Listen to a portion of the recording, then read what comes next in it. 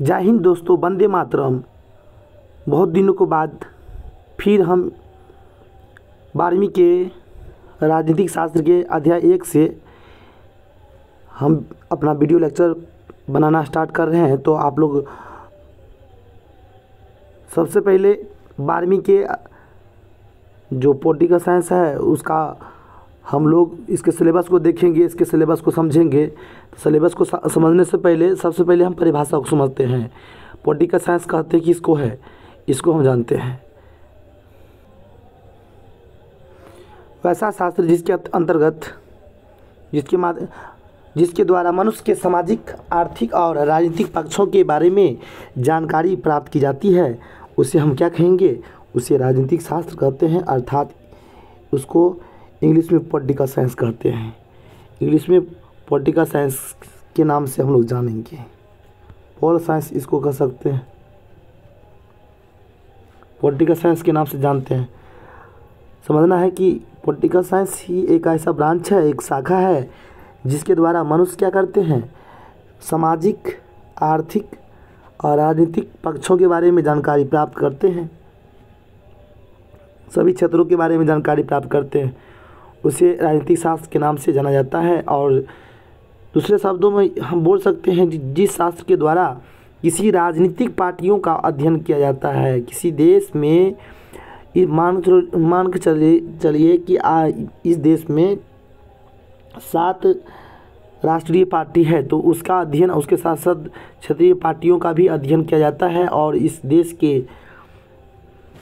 शासन प्रणाली के बारे में भी जिस शास्त्र से जानकारी मुझे मिलती है, उसे हम लोग क्या कहेंगे? राजनीतिक शास्त्र कहेंगे, अर्थात पॉलिटिकल साइंस कहते हैं। तो दूसरा कंटेंट में हम लोग देखेंगे कि पॉलिटिकल साइंस का जनक कौन है। तो राजनीतिक शास्त्र का जनक अरस्तु एवं प्लेटो दोनों को हम बोल सकते हैं, को कहा जाता है। और अध्ययन की दृष्टि से राजनीतिक शास्त्र को बारहवीं के अध्ययन की दृष्टि से राजनीतिक शास्त्र को दो भागों में बांटकर हम लोग देखेंगे।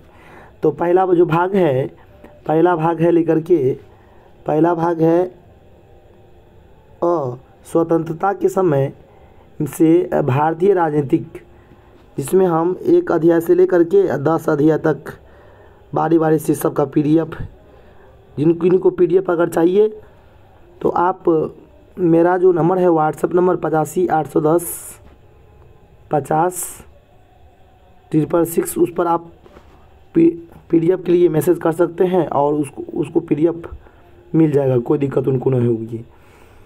तो चलते हैं, फिर भाग संख्या वो है। समकालीन विश्व राजनीतिक तो स्वतंत्रता के समय से भारतीय राजनीति के अंतर्गत भाग अ में कौन कौन अध्याय को पढ़ना है तो हम लोग बारहवीं के सिलेबस को पॉलिटिकल साइंस के सिलेबस को एक बार नज़र हम लोग डाल के देखते हैं।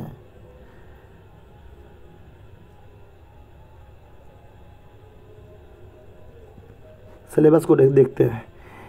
पहला अध्याय का नाम है एक दलीय प्रभुत्व का दौर। एक दलीय प्रभुत्व के दौर। पहला अध्याय का नाम क्या है? एक दलीय प्रभुत्व का दौर। अर्थात जो अठारह पचासी से लेकर के उन्नीस सौ सड़सठ ईस्वी तक जो कांग्रेस पार्टी का जो प्रभुत्व था इस देश में, उसके बारे में हम लोग क्या करेंगे? उसको पढ़ेंगे, ज़िक्र करेंगे। फिर दूसरा प्रश्न आता है कि राष्ट्र निर्माण और उसकी समस्या, जो जब पंद्रह अगस्त उन्नीस सौ सैंतालीस ईस्वी को इस भारत को आज़ादी मिली थी तो उस समय में राष्ट्र बनने में जो भी समस्याएँ हुई थी, दूसरा अध्याय में हम लोग पढ़ेंगे। फिर प्लानिंग के प्लानिंग के बारे में पढ़ा जाएगा, योजनाएँ के बारे में पढ़ा जाएगा कि भारत में कौन कौन सी योजनाएँ में कौन कौन कार्यक्रमों पर विशेष रूप से फोकस किया गया था तो अध्याय तीन में हम लोग पढ़ेंगे। फिर फिर अध्याय आता है चार, भारत की विदेश विदेश संबंध, जैसे कि चाइना का संबंध, पाकिस्तान का संबंध, रूस का संबंध, भारत के साथ शुरुआत से और अभी तक में कैसा बना है उसके बारे में हम लोग पढ़ेंगे। फिर अ, फिर फिर आ रहा है चैप्टर चैप्टर फाइव कांग्रेस व्यवस्था को चुनौतियाँ और उसका पुनर्स्थापना। कांग्रेस की जो व्यवस्था थी तो उसकी क्या चुनौतियाँ थी और उसका फिर से स्थापना उसको सत्ता माने के लिए क्या क्या करना पड़ा करना पड़ रहा है तो उसके बारे में हम लोग पढ़ेंगे। फिर आ रहा है क्या संवैधानिक व्यवस्था के संकट फिर क्षेत्रीय आकांक्षाएँ आ रहा है एवं संघर्ष, नया सामाजिक आंदोलनों का उदय, लोकतांत्रिक उछाल तथा गठबंधन की राजनीतिक और हालिया समय में मुद्दे एवं चुनौतियाँ, जो हाल समय में जो कौन इस देश को सही से विकसित बनाने के लिए कौन कौन मुद्दा उठाया गया और क्या किस किस इस देश को चुनौती का सामना करना पड़ रहा है, उसके बारे में ज़िक्र किया जाएगा।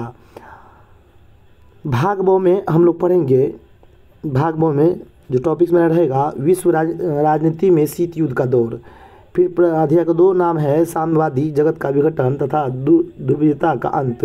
अध्याय एक अध्याय दो दोनों हो दोनों को दोनों इसके इसके बाद है सो विश्व राजनीति में अमेरिकी प्रभुत्व। आर्थिक एवं राजनीतिक सत्ता का वैकल्पिक केंद्र। ती, तीसरा अध्याय आएगा चौथा अध्याय सॉरी और फिर पाँचवा जो अध्याय है उत्तर शीत युद्ध काल में दक्षिणी एशिया। ये पाँच अध्याय हो गया और अध्याय छठा अध्याय में आपको ध्यान रखना है, कौन टॉपिक्स होंगे तो अंतर्राष्ट्रीय।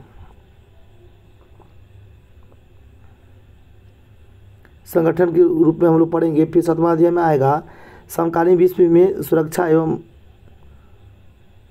उसके अधिकार क्षेत्र, फिर अध्याय आठ में आएगा, विश्व राजनीति में पर्यावरण तथा प्राकृतिक संसाधन। और नमा जो अध्याय रहेगा ग्लोबलाइजेशन की रहेगा।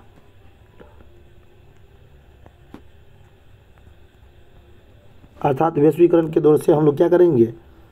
वैश्वीकरण के बारे में भली भांति पढ़ेंगे। वैश्वीकरण किसे कहते हैं, उस पर ज़िक्र करेंगे और ग्लोबल विलेज किसे कहेंगे? ग्लोबल विलेज का मतलब क्या हुआ? उसके बारे में हम लोग क्या करते हैं? भली भांति समझेंगे। तो अगला वीडियो में हम अध्याय एक इसके सिलेबस को फिर से बहुत ही जल्द लाने की कोशिश करेंगे। तब तक अगर आप, आप हमारे इस चैनल पर नए हैं तो चैनल को सब्सक्राइब कर लेंगे। और हाँ ये बात आपको ध्यान रखना है कि जि जिनको पीडीएफ चाहिए जिनको पीडीएफ चाहिए पर लेसन का तो टॉपिक समाप्त होते ही उसको पीडीएफ मिल जाएगा।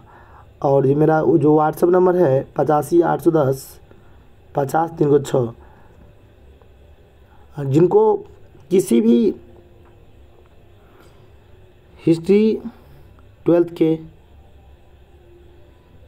geography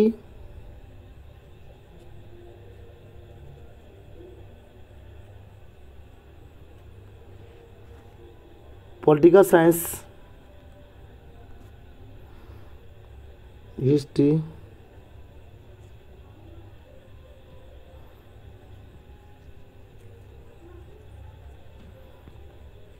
pol science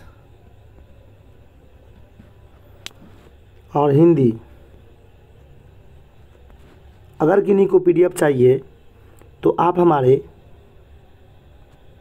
इस नंबर पर मैसेज करके पीडीएफ ले सकते हैं। प्रश्न ले सकते हैं पर अध्याय का, जो हम पीडीएफ के माध्यम से व्हाट्सएप के माध्यम से आपको हम सेंड कर देंगे। तो मिलते हैं नेक्स्ट वीडियो में। तब तक के लिए जय हिंद जय भारत।